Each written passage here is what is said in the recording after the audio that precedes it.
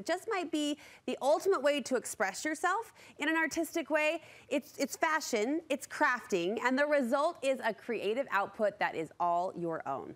We are giving a plain pair of tennies some aftermarket add-ons. You might want to team up with your teens for an afternoon where you cute up your kicks. Artist Jonnie Hartman is here to inspire all of us. It's great to see you. Hi, This is going to pull in all shoe lovers out there. And I've been seeing bits and pieces of this on social media, but tell us how you did this and why. Okay, this is so easy. You take your scrappy kicks and make them happy kicks. and we just need fabric, Mod Podge, scissors. That's it.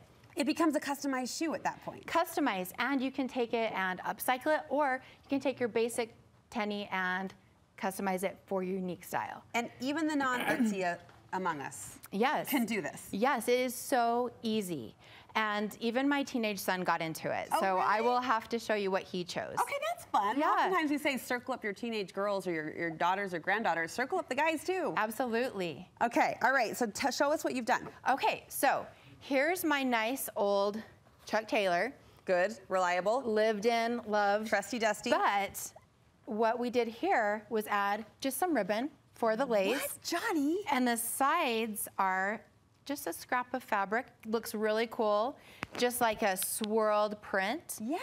And the way that it attaches is super easy. It doesn't even look like the same shoe. I know, isn't it so fun? This It's is kind of the monochromatic, cute. where everyday look, but the before and after is super fun, This right? has grow up potential too. Like I can be yeah. a cute nana running around in these. Oh, so fun. Yeah. But yeah, so to get it that on the fabric, I just make a little template Okay. out of tissue paper. Okay. Make sure it kind of fits on the side here. Uh huh.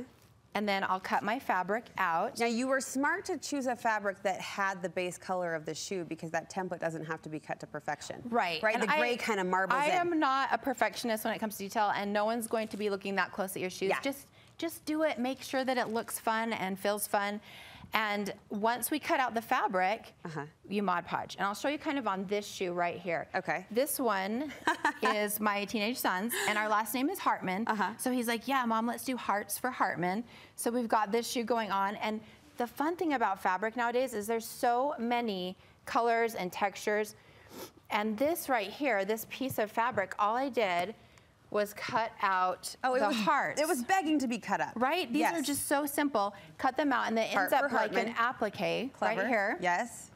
And we Mod Podge this on. And to Mod Podge, I don't know if you've used Mod Podge before, but it is my favorite. But usually with paper, you yeah, know what I mean? it works with fabric wonderful. Okay. And you just dip it in there. That's a perfect brush. What, yeah, what it's that? a Mod Podge brush. What? You can get Mod Podge brushes that go with the Mod Podge. I've been doing this They're for a just so much better. No one has mentioned a Mod Podge brush. Yes, they just have this like stiffness and texture that makes it Right. so much easier to go on. So I've got this glued on the back and I'll just press it whichever way I feel looks great. Press it on there. You kind of press it down with your fingers. You can adjust it, slide it around. And then once it's on, Do you have to do the top layer? yes. Okay. So you want to seal the top layer and Mod Podge tends to give a little bit of like waterproofing and makes sure that the edges don't fray. Uh-huh. But yeah, that. And it will seal and, and, and dry clear. Oh, it will dry clear. fabric, and you know too. what? I have to mention too, there are so many different sheens of Mod Podge. And I tend to like the matte, Matte. because it's not glossy. There's really glossy if you want to glam it up. Yeah. But matte is my favorite. It will probably blend with the fabric, really yeah, nicely. it blends with the Yeah. fabric. So this looks a little gluey right now, but once it dries, you'll see it kind of just dries perfectly. Proof in your teenage son, but kids will get a kick out of this, no pun intended. They will get a kick out of it for sure. Um, these are some other oldies, and I just kind of cut stripes. I did the tongue.